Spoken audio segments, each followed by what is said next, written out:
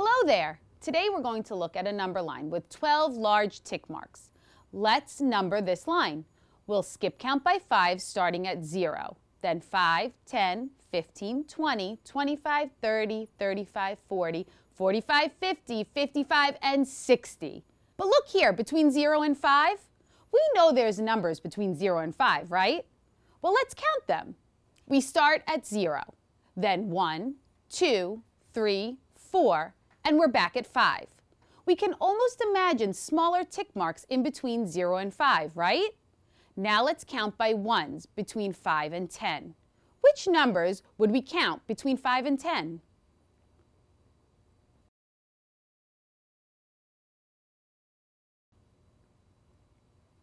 From 5, we count 6, 7, 8, 9, and then we get to 10. Once again, you can see these little tick marks representing the ones we counted. How many small tick marks did we make between 5 and 10?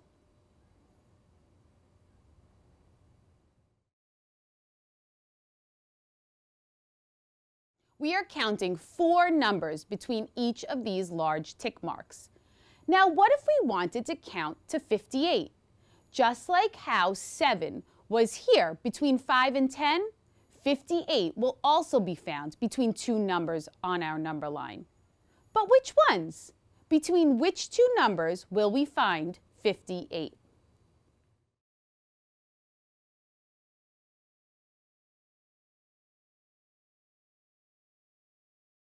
Let's see. 58 is going to be way over here. It's greater than 55 and lesser than 60. So it will be somewhere in here. Well, to get there, we don't have to count by ones. Let's count by fives. 5, 10, 15, 20, 25, 30, 35, 40, 45, 50, 55. Now let's visualize those four small tick marks. Perfect. Now we can count by ones. 56, 57, 58. There we go, we found 58. Let's review. How did we get here?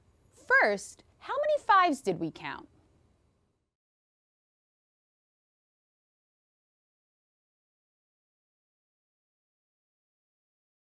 To get to 55, we counted 11 fives. Then, to get from 55 to 58, how many ones did we count?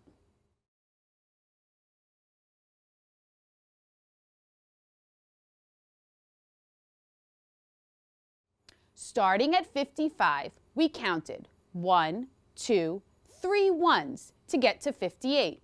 So we have 11 fives and 3. How can we write that as a multiplication sentence?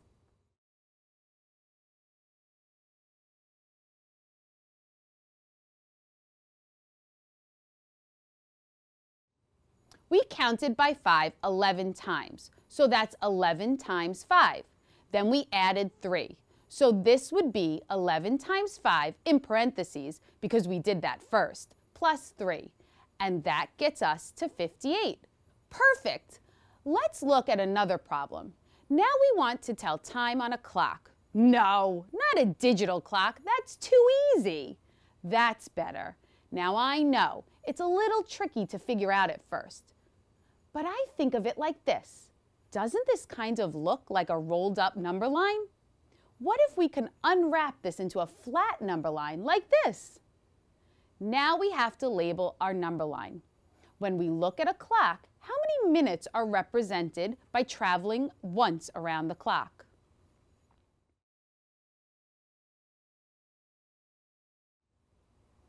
Every time the minute hand goes around the clock, we've passed one hour and in one hour there are 60 minutes.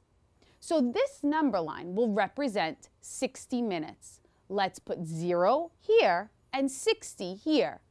And on a clock, each of our tick marks represents 5 minutes. So let's number our number line. 0, then 5, 10, 15, 20, 25, 30, 35, 40, 45, 50, 55, and 60. That looks familiar.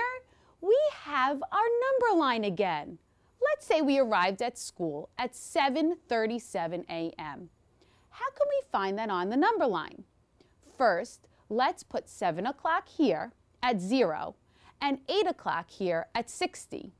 Now our number line represents the 60 minutes between 7 o'clock and 8 o'clock.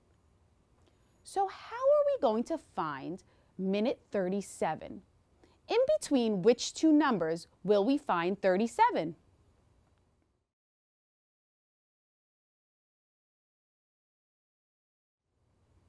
Thirty-seven will appear between 35 and 40. To get there, what should we do?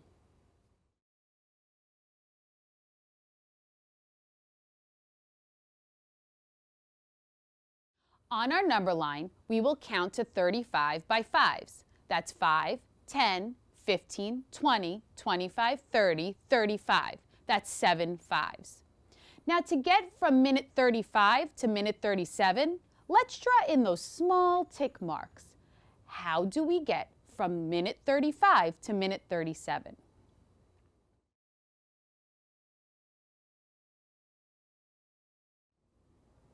We will count by ones. 36, 37. So how many fives did we count and how many ones did we count?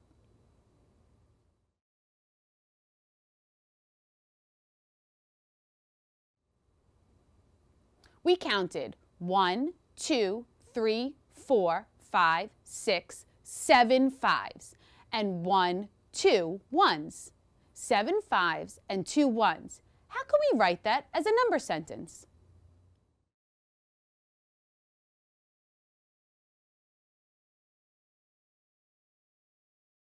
We counted by 5 seven times and added 2.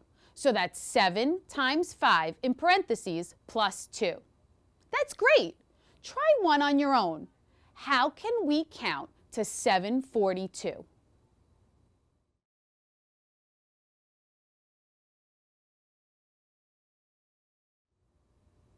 To get to 42 minutes, we'll need to end up between 40 and 45. So let's count to 40 by fives. That's one, two, three, four, five, six, seven, eight fives. Then we draw in our new tick marks for ones. Then count one, two to 42. That's eight fives and two ones. Great job.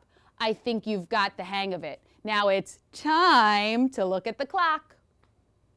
Just like before, we have our number line. Now it's just in a circle. Once again, we have our 12 large tick marks, and then we have four smaller tick marks in between. We know how to do this. So this is what the clock looked like when I got into work. But what time is that? Let's look at the minute hand first. How can we find out what time it is?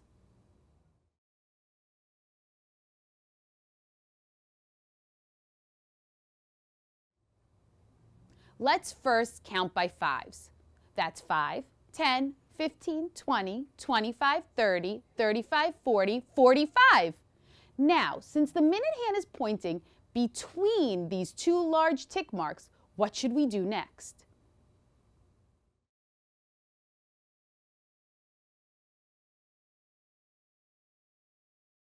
Great! Now let's look at the hour hand. For hours, we count by ones on the large tick marks. So that's one, two, three, four, five, six. It's not quite to the seven yet. So that's six hours and 48 minutes, 6.48 a.m. That's pretty early. No wonder I need a nap. While I catch up on some sleep, why don't you see if you can tell what time is shown on this clock? Great job today.